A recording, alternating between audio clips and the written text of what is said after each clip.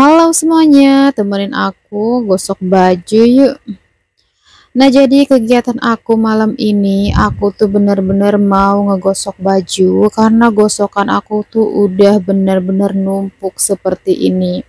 Ini tuh nggak tahu gosokan berapa hari atau berapa kali nyuci gitu ya. Pokoknya ini tuh gosokan dari sebelum aku beres-beres, terus ketimpah-timpah terus, dan jadinya numpuk seperti ini. Ini tuh bener-bener, aduh nguras tenaga banget.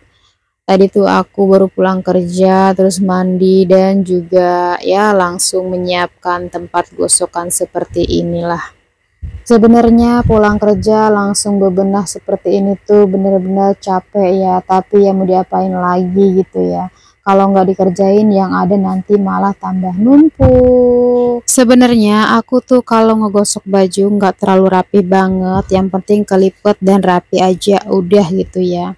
Dan kadang ada juga yang baju sehari-hari dipakai buat tidur itu itu kan nggak perlu licin-licin banget digosok jadi ngasal aja gitu ada juga baju yang kalau digosok nggak digosok sama aja yaitu nggak aku gosok. Paling aku semprot-semprot pakai pewangi langsung aku lipat. Ini tuh bener-bener segini aja aku tuh udah bener-bener pegel gitu ya. Tapi di sini jangan lupa semangat. Karena kalau bukan kita yang ngerjain siapa lagi Oke, di sini lanjut aku mau goreng telur dulu ya, karena tadi suami aku tuh beli makan, beli nasi goreng gitu. Cuman dia nggak beli, katanya mau goreng telur aja. Nah, di sini aku makan nasi goreng, terus suami aku makan telur dadar. Nah, di sini juga nggak lupa dong direcokin sama anak aku. Tahu sendiri lah ya, kalau ngapa-ngapain itu pasti dia ngerecokin. Ini juga dia kalau ada video begini sadar kamera, kadang suka nunjuk-nunjuk, kadang aku juga bilang halo guys gitu. Dia selalu nyaut gitu ya, atau dia tuh ngerti gitu. Nah di sini aku tuh mau disuapin guys sama dia tuh. Di sini aku mau jawab komentar dari Bunda Yana Aurelia. Iya bun, aku juga suka merabot itu ya, soalnya aku tuh mikirnya selagi aku masih kerja dan aku bisa kebeli gitu ya. Jadi apa yang aku belum punya, aku beli. Kadang di kolom komentar ada juga yang bilang sumpek, sempit, kenapa nggak cari kontrakan yang lebih gede, banyak barang lah. Sebenarnya kalau kontrakan satu rumah atau satu petak yang gede gitu ya mungkin ada gitu ya. Tapi kan terkadang dari harganya juga itu beda ya. Kalau tempatnya itu lebih gede pasti harganya juga lumayan.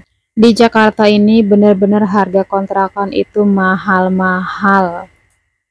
Di sini aku tuh ngontrak daerah Kapuk. Coba deh bisa ditanya ke orang-orang yang ngontrak di daerah Kapuk itu satu petak kira-kira harganya berapa dan benar-benar kontrakan sekarang tuh ya pokoknya mahal udah mahal kadang kecil gitu ya. Ada gede juga ya harganya juga lumayan. Kadang bahkan ada yang se kontrakan aku ini tuh harganya satu juta setengah. Itu belum termasuk listrik juga.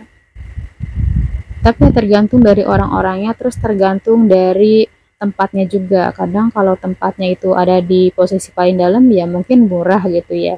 Kalau aku kan yang nggak dalam-dalam banget, seenggaknya masih deket ke jalan raya atau ke tempat kerja aku gitu ya. Nah, di sini gosokan aku udah mau selesai. Ini tuh si dedenya pingin deket terus sama aku. Dan aku mau susun dulu barang-barangnya supaya lebih rapi gitu ya. Nah, ini aku mau susunin. Jadi, aku susun baju anak aku, baju aku, dan baju suami aku gitu.